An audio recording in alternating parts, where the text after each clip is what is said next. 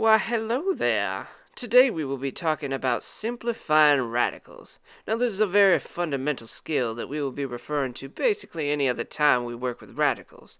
Specifically, we will be looking at the factor tree method for simplification, which I find to be the least confusing of the different methods for accomplishing our goal. So, without further ado, let's get going. Now, to simplify radical, what we actually are trying to do is take the radicand, that is, the number inside the radical, and turn it into something smaller. To do this, we will break it down into its fundamental or prime parts. Let's take a look at the square root of 75. Now, the two easiest numbers that multiply to 75 are 3 and 25. I'm going to underline my 3 because that is a prime number. 25 can be broken down a little further into 5 times 5, both of which are prime, and therefore we are done with our factor tree. Now we must rewrite our radical, and we will do so by taking 75 and writing it as the product of its prime factors, so the square root of 5 times 5 times 3. When we use the factor tree method, we are going to be looking for pairs of numbers like these 5s here, because we are taking the square root. Now, when you take the square root of a number times itself, you get just the number out of it. So, what we will do is we will write one representative number from the pair on the outside, and then cross off the numbers on the inside, because we have, in effect, taken the square root. And with that done, the only thing left under the radical is the 3, so our answer is 5 radical 3. Not too bad. Let's try the next one. To simplify the square root of 120, let's think of two numbers that multiply to 120. How about 12 and 10? That's easy, right? 12 breaks down into 3 times 4. Remember, 3 is a prime. 10 breaks down into 5 times 2. Both of those are prime as well. 4 can be broken down a little bit more into 2 times 2. Again, both of which are prime, so we are done with our factor tree. Now let's rewrite the radical. This time we're going to do 5 times 3 times 2 times 2 times 2. Notice how I did this in descending order. You don't have to, I just like to do that. We do have a single pair of 2, so we are going to put one representative from that pair outside of the radical to get 2. And then on the inside we are left with 5 times 3 times 2. Well, we don't very much care to leave it like that, so we may as well just write it as 2 times the square root of 30.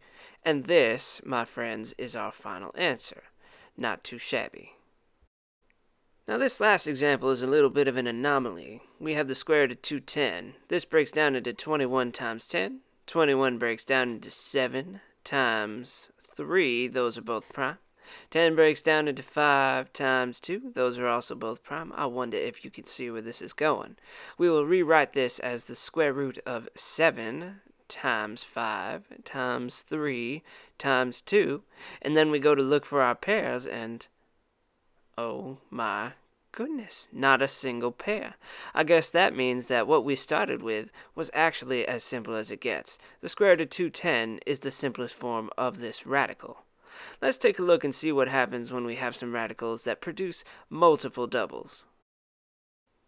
We'll start our proceedings with the square root of 48 over here. 48 breaks down into 12 times 4.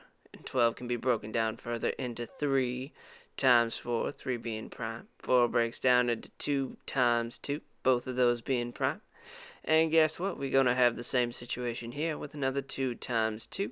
Again, both prime, we are done with our factor tree. Rewriting, we will get the square root of 3 times 2 times 2 times 2 times 2. Right, and so we have one pair of 2's right over here. We're going to put one representative outside. We got another pair of 2's right there. We put another one outside. So the question is, how do those interact? Well, it works the same way. We have the 2 from the first pair, cross those out, and then we're going to multiply times the 2 from the other pair.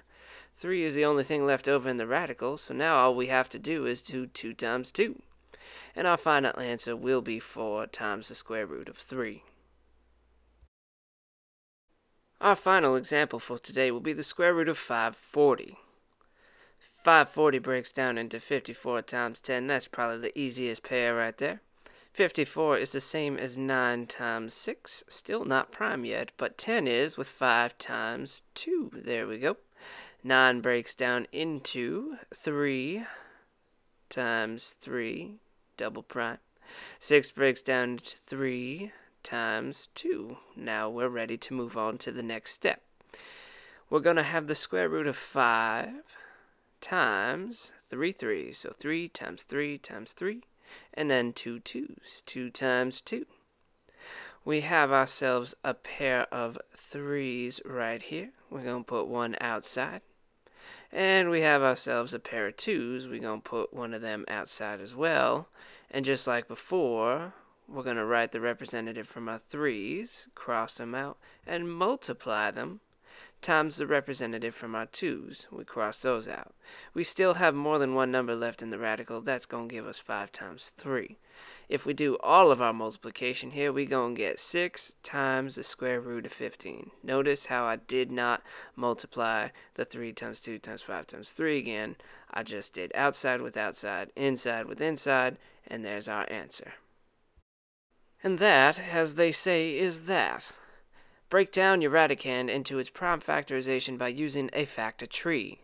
Circle any pairs of numbers and write one representative outside of the radical and cross off the pair on the inside.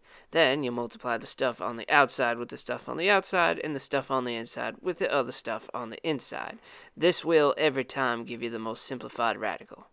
I wish you good luck, and I will see you next time.